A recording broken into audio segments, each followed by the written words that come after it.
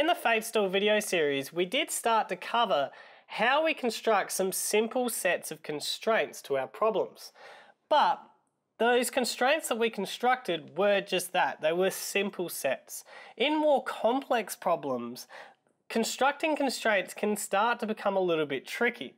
So we need to have a new way that starts to simplify constructing more complex sets of constraints. For example, if I have the problem here where I'm an athlete and I've got a choice of two different brands of food to consume each week. Now I'm going to have a set of dietary requirements if I'm an athlete. So let's compare these brands.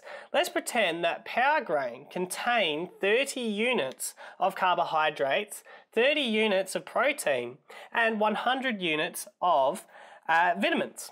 And let's pretend that Super Elite contained uh, 10 units of carbohydrates, 30 units of protein, and 200 units of vitamins. Now, my dietary requirements might be to have at least 170 units of carbohydrates and at least 1,400 units of vitamins. But I might be restricted on the number of protein that I can have, and I might not be allowed to have any more than 330 units of protein. Now, that's a lot of information there. And if we were to try and start constructing constraints straight from this, it's possible, but it's very difficult. So we need a way that we can visualize or represent our information or manage our information for us to make it easier to handle. And a table can be very useful for that. So in this table, if we're constructing it, the first little column that we're gonna have is to break down the different products that we have. So we're dealing with food here. And the types of food that we have are power grain, and super elite. But we also have another constraint, that total required that we have to have in our diet. So I'm going to also include that here.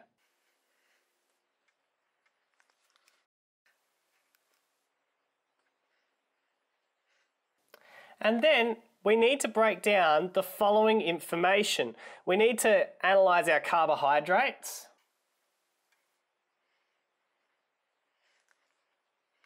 our proteins, our vitamins, and we also need to look at the number of cans of each that we require. So now that we've constructed our table, we need to fill out our table by using the information we've got represented here. So in this section, we want to list out the carbohydrates in each product. So in Power Grain, the units of carbohydrates that Power Grain contains is 30. And for Super Elite, it contains 10 units. Then we look at how many do we need of carbohydrates. Now our problem here, it says that we need at least 170 units of it. So that means we need to have equal to or greater than 170 units. We then do the same with protein. Now both Power Grain and Super Elite have 30 units of protein, but we need to look at how much is total needed. And it says that we can't have any more than 330 units. So that means it's going to be equal to or less than 330. Then the same for vitamins. Power Grain has 100 units of vitamins. Super Elite has 200. And in this case, we need at least 1400 units, so it's going to be equal to or greater than 1400. And finally, we've got to look at the number of tins. Now here, we've got to define our variables for it. So for power grain, I'm going to use the variable x to represent the number of tins. And for super elite, I'm going to use the variable y to represent the number of tins. Defining our variables is a very important step within the problem. So now, over here in this table, I've taken all the information out of our problem and summarized it nice and neatly. So I can actually take this information away now and let's start breaking down the constraints that exist within our problem. Now, the first constraint that exists is the number of tins. You can't have a negative number of tins. You can have zero, you can have greater than zero, but you can't have a negative number. So, our x has to be equal to or greater than zero and our y has to be equal to or greater than 0. That is our first set of constraints. Then, once we've got our first set of constraints here, we need to start breaking it down by column by column. So, the next thing we need to look at is the total carbohydrates.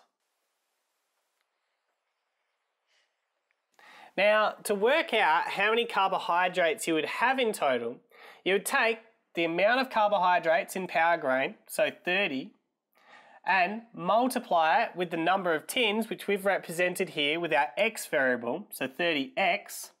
You would add that to the amount of units of carbohydrate in super elite, which is 10, and multiply that by our variable, the number of tins, which is y.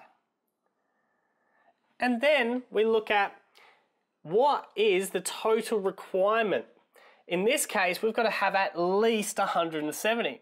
So when we do this, this has to be at least 170 or greater than 170 units. So what this gives us is a constraint for the carbohydrates. We then repeat the same for protein. To work out protein, it's going to be 30 because there's 30 units in power grain, multiplied by the number of tins of power grain, which is X. Add on the 30 because there's 30 units in super elite. Multiplied by the number of tins which is y for super elite. And the requirements of protein is it's got to be no more than 330 so it's going to be equal to or uh, or less than 330 units. Then for vitamins we do the same it's going to be 100 units of vitamins multiplied by the number of tins for power grain, so 100x. Add on with the 200 units of vitamins for super elite, multiply the number of tins that we have, so 200y. And we've got to have at least 1400, so it's going to be equal to or greater than 1400 units. And what we've now done is we've used this table to help us define where the feasible region or the feasible solutions exist within our problem. And we can now go ahead and graph this, which is what we're going to do in our next video.